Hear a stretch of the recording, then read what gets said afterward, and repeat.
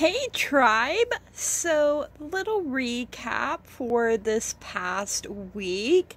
Um, you know, we we've learned that it is our season to win and that we get to choose. And so, if we don't like the way something is going, we have the power to change that. And, you know, that we can have clarity in all areas of our lives, um, that the sun is shining brightly on us, you know, to.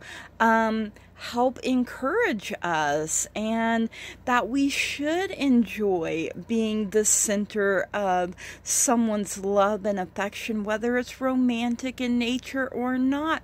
Soak that up. It's nice to be valued and appreciated and that when we trust and believe that anything is possible, it opens up so very much for us, you guys. You know, things just seem to start really rolling in. And, um, you know, even today for Sunday, you know, we had that Angora rabbit, the Empress showing up. We had, you know, trusting in our intuition um, and using it often, you know, um, because we all have it, you guys, you know, and the more we use it, the stronger it gets. And and you know it can help us through so so very much. So you know i feel like this past week was so wonderful you know the first full week of october.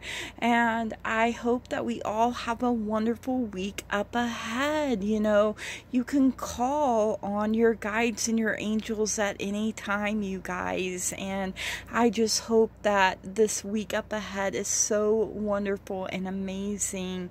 From the bottom of my heart i love and appreciate appreciate each and every single one of you. And I want to say thank you, blessed be, namaste, and goodbye.